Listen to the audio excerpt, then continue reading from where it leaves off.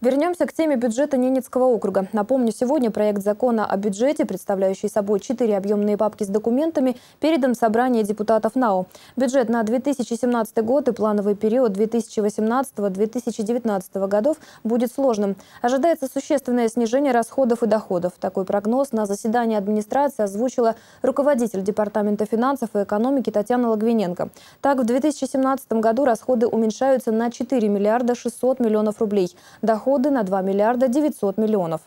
Расходы окружной казны определены с учетом доходной части. В 2017 году расходы планируются на уровне 12,9 миллиардов рублей. В 2018 и 2019 годах снижение продолжится – 11,4 миллиарда и 11,2 миллиарда рублей соответственно.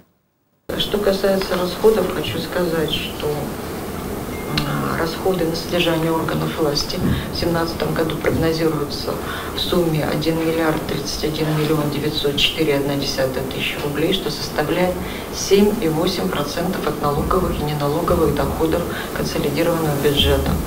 А, установлены, при установленном Министерством финансов нормативе на содержание органов власти 3,8%. Доходы бюджета в 2017 году прогнозируются в объеме 12,5 миллиардов рублей. В 2018 и 2019 годах они составят 11,4 миллиарда и 11,2 миллиарда рублей соответственно. Снижается в следующем году и дефицит бюджета с 2,3 миллиарда до почти 804 миллионов рублей. Таким образом, он составит 6,8% от доходов.